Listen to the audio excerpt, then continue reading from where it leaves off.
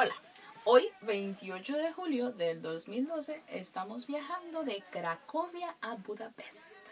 Y este es el tren donde tenemos que viajar.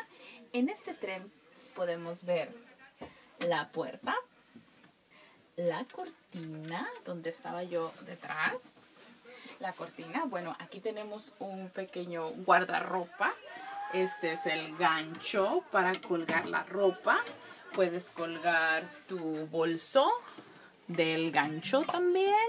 Y hay un espacio arriba para poner cosas como un pantalón de mezclilla, un poco sucio. Y también tenemos las maletas, dos grandes, gigantes maletas. Tenemos... Ah, los zapatos deben estar lejos.